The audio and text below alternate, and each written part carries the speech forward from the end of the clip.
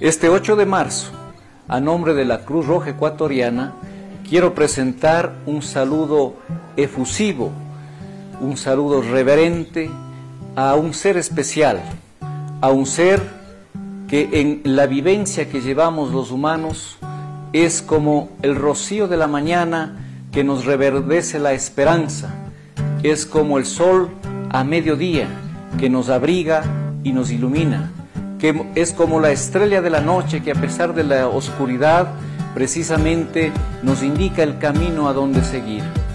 Ese ser especial es la mujer. Feliz día a todas y cada una de ustedes, en especial a las compañeras cruzrojistas.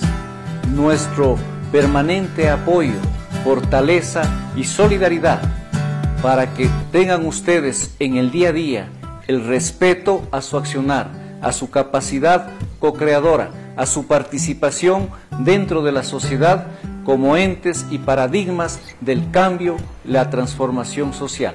Feliz día a todas y cada una de ustedes.